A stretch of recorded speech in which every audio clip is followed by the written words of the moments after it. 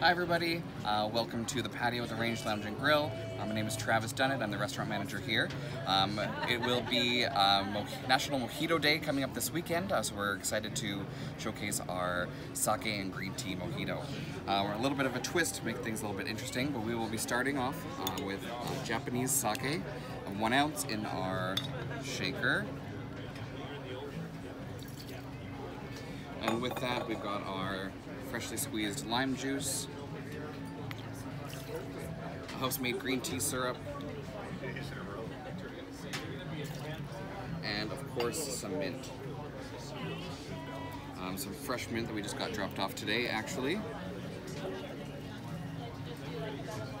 I'll take these and muddle it all together, um, get the flavors going, and it starts to really uh, get that mint flavor.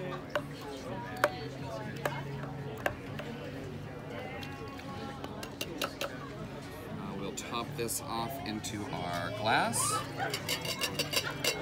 with all of the mint flavors in there. Top with ice and this is going to be a perfect cocktail for a great summer weekend that we're looking to have in the Okanagan.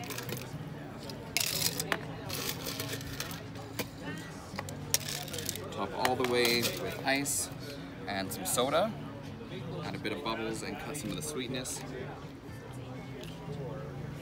And of course, we want to top with a bit of mint.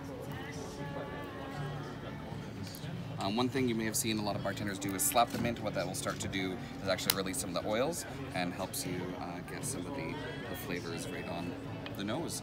And of course, a little bit of fresh lime. So that is our uh, sake green tea mojito. I hope to see you here soon.